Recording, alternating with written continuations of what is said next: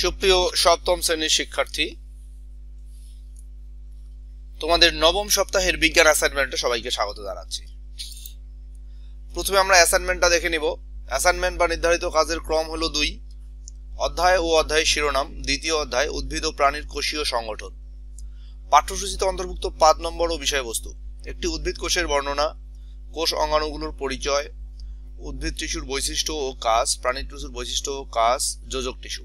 Assignment বা নির্ধারিত কাজ একটি প্রাণী কোষ ও একটি উদ্ভিদ কোষ এর চিহ্নিত চিত্র অঙ্কন করে উপস্থাপন করো। দুই মানবদেহের কোন কোন অঙ্গাণু ঐচ্ছিক পেশি এবং অনিচ্ছিক পেশি তার একটি তালিকা তৈরি করো এবং খাতায় লিপিবদ্ধ করো। প্রাণীদেহের যে কলা উদ্দীপনায় সাড়া দিয়ে উপযুক্ত প্রতিবেদন সৃষ্টি করতে পারে, সেই কোষটির সচিত্র বর্ণনা দাও বা বর্ণনা করো। এই হলো তোমাদের অ্যাসাইনমেন্ট নির্দেশনা দেখো, শিক্ষার্থীরা পোস্টার অথবা খাতায় উদ্ভিদ ও প্রাণী কোষের চিত্রাঙ্কন শিখবে। তোমাদের পোস্টারে আঁকলে সুন্দর হবে, পোস্টার পেপারে। মানবদেহের কোন অঙ্গাণুগুলো ঐচ্ছিক পেশি এবং কোন অঙ্গাণুগুলো অনৈচ্ছিক পেশি দ্বারা গঠিত তা জানতে হবে। প্রাণীদেহের স্নায়ুকোষ সম্পর্কে ধারণা নিবে। অতি উত্তম পাওয়ার জন্য কি করতে হবে দেখো।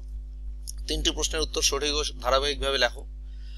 প্রশ্নের উত্তরে তথ্য, তত্ত্ব ও ধারণা পাঠ্যপুস্তকের সাথে সম্পূর্ণ সঙ্গতিপূর্ণ হলে। প্রশ্নের উত্তরে শিক্ষার্থীর নিজস্বতা ও সৃজনশীলতা থাকলে। এই জিনিসটা সবচেয়ে গুরুত্বপূর্ণ। অ্যাসাইনমেন্ট কারও দেখে হুবহু লিখে দিলে সেটাতে কিন্তু আসলে অতি উত্তম পাওয়া যাবে না। অবশ্যই তোমার অ্যাসাইনমেন্টটা তোমার মতো করে তুমি আলাদা করে লেখার চেষ্টা করবে। নিজস্বতা থাকতে হবে, সৃজনশীলতা থাকতে হবে। তো যাই হোক, উত্তর কীভাবে লিখবে তার আগে শিরোনামটা বলি। শিরোনাম হলো উদ্ভিদ ও প্রাণীর কোষীয় সংগঠন, এটা হলো শিরোনাম। এক নং প্রশ্নের উত্তর দেখো। প্রাণীকোষের প্রধান অঙ্গাণু সমূহ একটা প্রাণীকোষের ছবি আঁকবা, তোমরা চিত্র আঁকবা এইভাবে। আশা করি তোমরা প্রাণীকোষের চিত্র আঁকতে পারো, অনেক সুন্দর করে আঁকবা। একে প্রত্যেকটা অঙ্গাণু এইভাবে তোমরা ইন্ডিকেট করে দিবা। এবং এগুলো যে ইন্ডিকেট করবা, এগুলো কিন্তু ডান সাইডে এই সাইডে কিন্তু তোমাদেরকে লিখতে হবে। তারপরে দেখো উদ্ভিদ কোষের প্রধান অঙ্গাণু সমূহ একটা উদ্ভিদ কোষের ছবি আঁকবা। একে প্রত্যেকটা অঙ্গাণু, যেমন প্লাজমা মেমব্রেন, তারপরে তোমার প্রত্যেকটা অঙ্গাণু কিন্তু তোমরা এখানে ইন্ডিকেট করবা। দুই নং প্রশ্নের উত্তর দেখো, ঐচ্ছিক পেশি। আমরা যখন কোনই বাঁকা করি, তখন ঊর্ধ্ববাহুর সামনের দিকের পেশি সংকুচিত হয়ে নিম্ন বাহুকে টেনে বাঁকা করি। যে পেশি আমরা ইচ্ছা মতো সংকুচিত প্রসারিত করে দেহের বিভিন্ন অঙ্গ সঞ্চালন করতে পারি, তাকে ঐচ্ছিক পেশি বলে। মানব দেহে ঐচ্ছিক পেশির সংখ্যা বেশি। এ পেশি হাড়ের সাথে লেগে থাকে, আমাদের অঙ্গ নড়াচড়া করতে সাহায্য করে। নিম্নে কয়েকটি ঐচ্ছিক পেশির নাম দেওয়া হলো।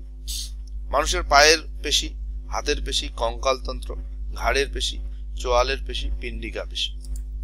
তিন নং প্রশ্নের উত্তর দেখো। প্রাণীদেহের যে কলা উদ্দীপনায় সাড়া দিয়ে উপযুক্ত প্রতিবেদন সৃষ্টি করতে পারে, তাকে স্নায়ু টিস্যু বা নার্ভ টিস্যু বলে। স্নায়ু টিস্যু একক, স্নায়ু টিস্যু একক হচ্ছে স্নায়ু কোষ বা মস্তিষ্ক অসংখ্য স্নায়ু কোষ বা নিউরন দিয়ে তৈরি। প্রতিটি নিউরনের তিনটি অংশ নিয়ে গঠিত।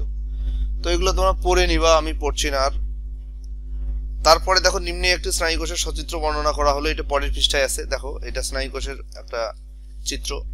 এই চিত্রটা তোমাদেরকে সুন্দর করে আঁকতে হবে। তোমাদের বইয়েও চিত্রটা আছে। অনেক সুন্দর করে একবার দেখে দেখে। তারপরে দেখো, কোষ দেহ। এটা নিয়ে আলোচনা আছে, ডেনড্রন ডেনড্রন সম্পর্কে আলোচনা আছে। এগুলো আমি পড়ছি না। তারপরে অ্যাকশন।